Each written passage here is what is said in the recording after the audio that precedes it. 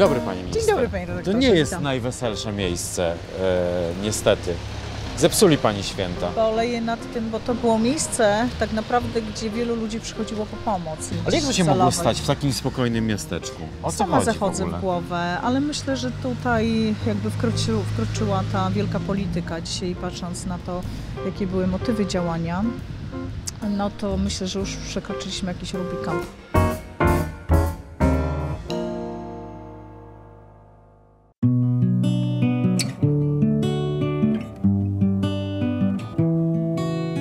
Nocy nas tu nie ma, my nie urzędujemy, ale tu mieszkają e, moi mieszkańcy, tu mieszkają dzieci, prawda, małe, więc e, w tej sytuacji to zagrożenie naprawdę było mega duże. Tu jest piec gazowy, który No ogrzewa. właśnie. Właściwie to mój mąż piął do tego, żeby założyć tu alarm, z alarm z powiadamianiem Pani policji na komórkę.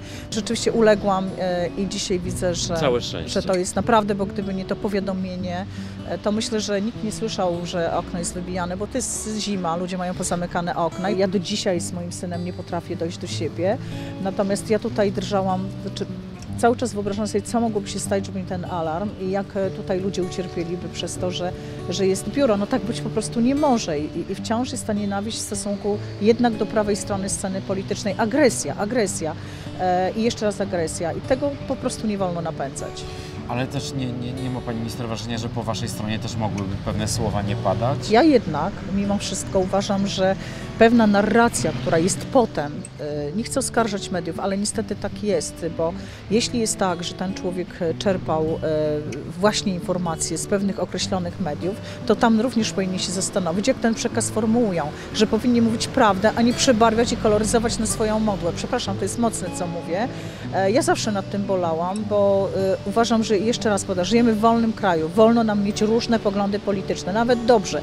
Nie ma czegoś takiego jak przed 89 rokiem, że wszyscy musimy myśleć jednakowo. A wydaje się, że przynajmniej przekaz, który jest sformułowany, nakazuje nam również żyć pod przekaz, nie wiem, liberałów, prawda?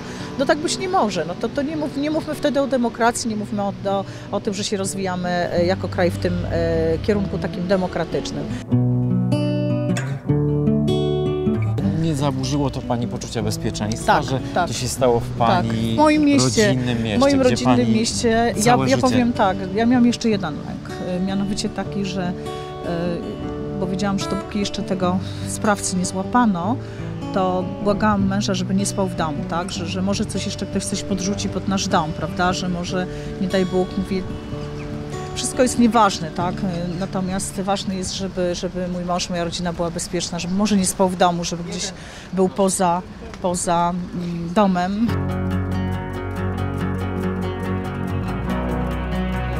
To jest Dlatego- typowe polskie miasteczko, prawda? Typowe Takie- polskie miasteczko, takie kochane, skromne, żywe, mm, żyjące własnymi sprawami, ale i nie tylko. To jest mój kościół, w którym przyjęłam pierwszą komunię świętą, przyjęłam oczywiście sakrament też bierzmowania, w którym braliśmy ślub, były chrzczone moje dzieci. W tym kościele śpiewałam, zresztą należałam do ruchu owocowego. Ale ojca kiedyś religia była w nie gościła Pani E, minister w Gdzie?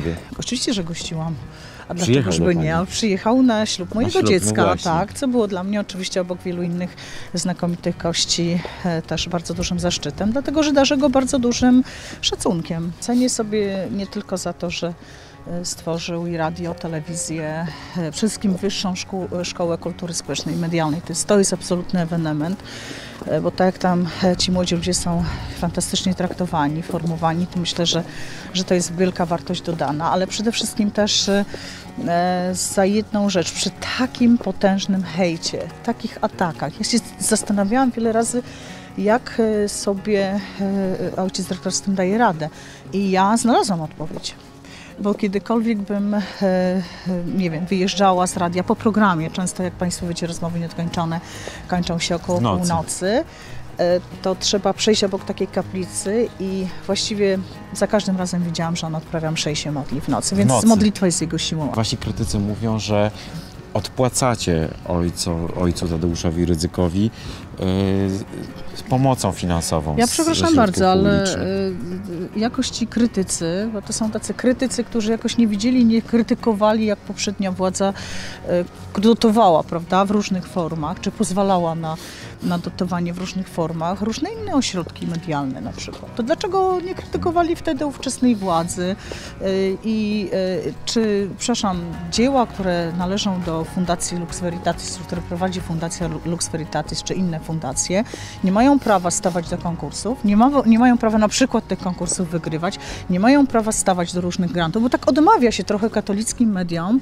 e, w ogóle miejsca w przestrzeni publicznej i to jest zastanawiające.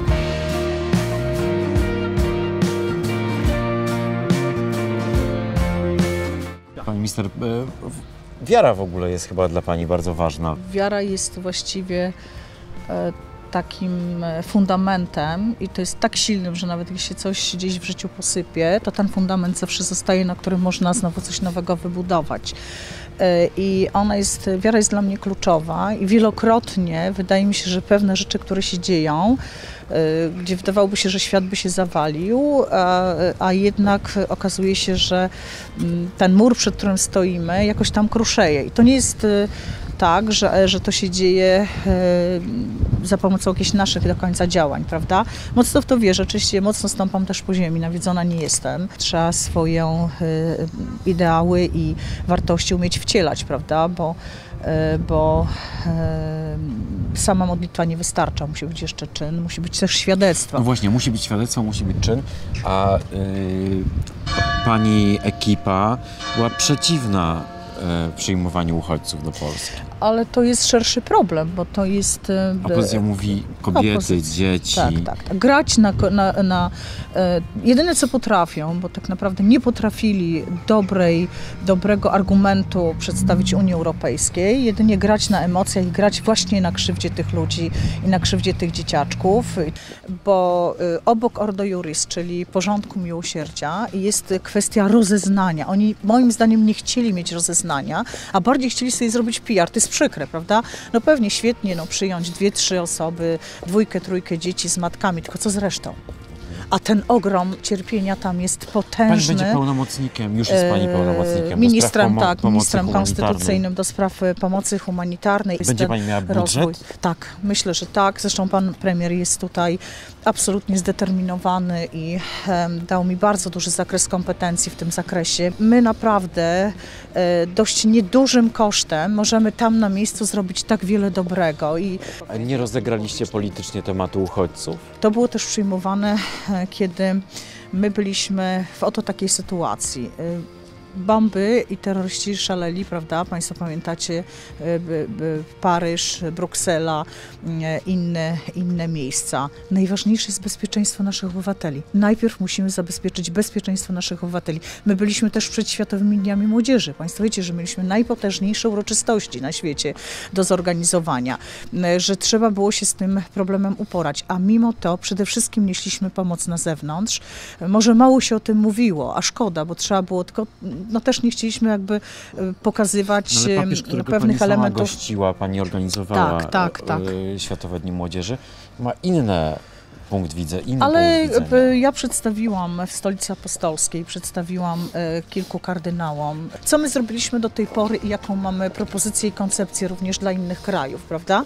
I z tego co wiem, bo otrzymałam też e, w tej sprawie korespondencję, zostało to bardzo, ale to powtarzam, bardzo życzliwie przyjęte i odebrane. Powolutku jest też pewna weryfikacja stanowiska wielu innych krajów, że właśnie gdybyśmy się mocno połączyli w tej pomocy na zewnątrz, szczególnie w tych krajach, skąd ci imigranci przybywają, to tak naprawdę jesteśmy w stanie pomóc całej Europie. No właśnie, ale to jest też tak jakby y, mamy Wigilię i przychodzi do nas bezdomny i my mówimy nie, nie, tu Ci nie pomogę, nie wchodź, bo mogę nie, Ci na to miejscu... Jest, ale, nie, ale pan to upraszcza. Pan to upraszcza. Ja będąc w Libanie usłyszałam słowa od matki jednej z tych dzieci. Mówi, wie pani, my nie chcemy stąd wyjeżdżać, tylko ja w tej chwili mam problem, bo ja chcę otrzymać pomoc medyczną, tak, dla swojego dziecka. I to, jest, i to robią te organizacje, nasze polskie pomocowe. Pomoc Kościołowi Potrzebie ostatnio na przykład pokazywała zdjęcia dzieci, które y, dostały protezy dzięki naszej polskiej pomocy, ich działaniom, działaniom też po części y, z naszych środków podatników rządowych. I to jest właśnie to, co powinniśmy absolutnie y, robić. Tam jest ich ośrodek interesów życiowych.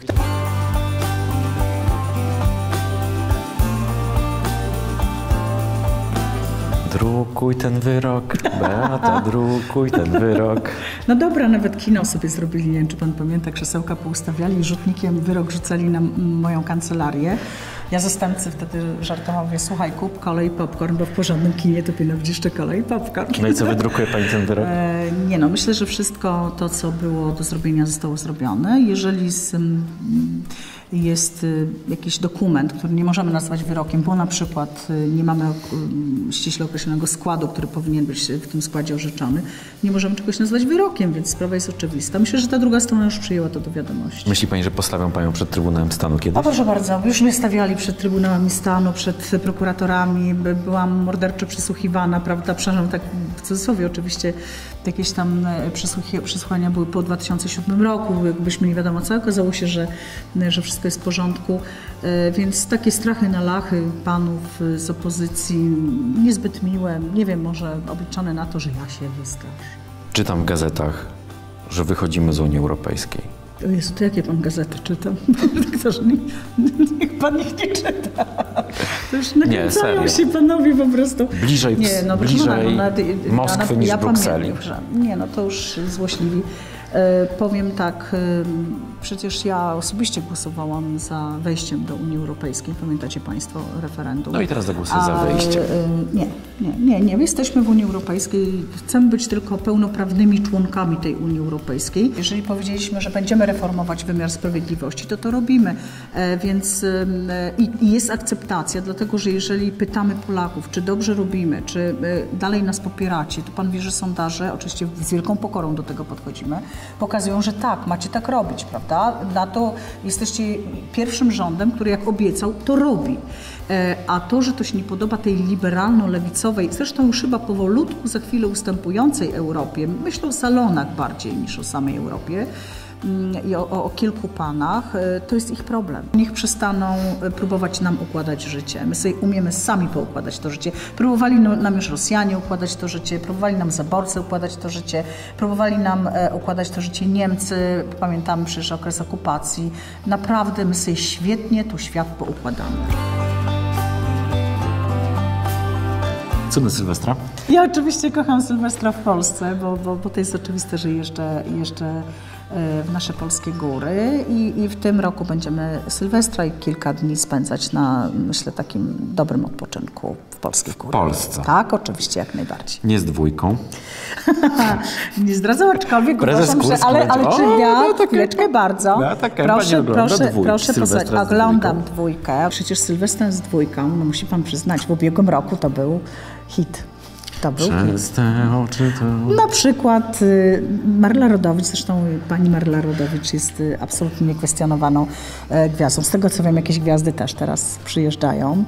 Despacito. No ale tyle osób, y, ile tam przychodzi, przyjeżdża, już tak na gorąco w ostatniej chwili. A, mm, a górale są po prostu super. Wszystkiego, wszystkiego dobrego, dobrego. W, wszystkiego dobrego w nowym roku. Bardzo 2018 dziękujemy. ósemka. Po siódemce takiej niefajnej jest ósemka. Będzie jeszcze lepiej. Dziękuję bardzo. Dzięki.